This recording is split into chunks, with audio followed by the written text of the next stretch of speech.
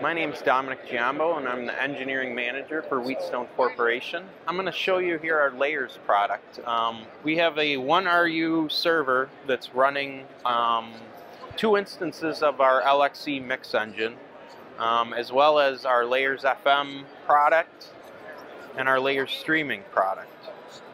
Um, our Layers FM product is connected to the server and is sending is doing processing FM processing um, and uh, all of the this is actually layer streaming um, and we also have layers FM um, both are running at the same time. We have two mix engines running which appear as blades in our system.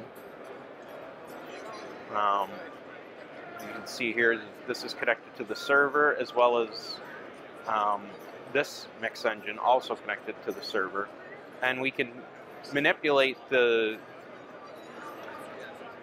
mix engine using our glass LXE console.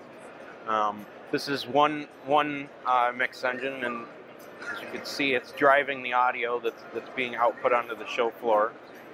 Um, we also can go to each of our streaming destinations and listen to those.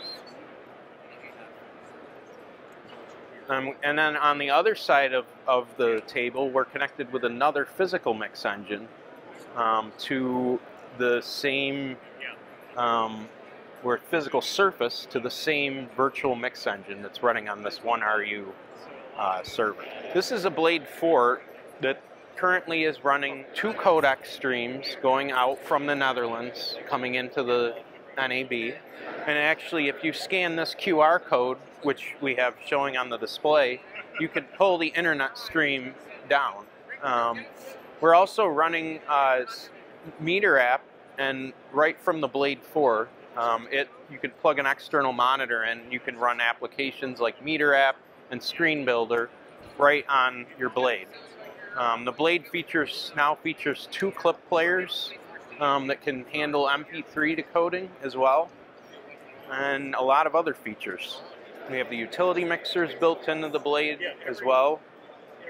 We have all the logic and the two clip players that are running.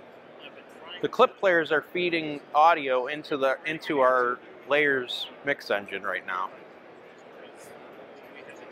And here's our two codecs showing the encoding going out and our decoders coming in from the Netherlands.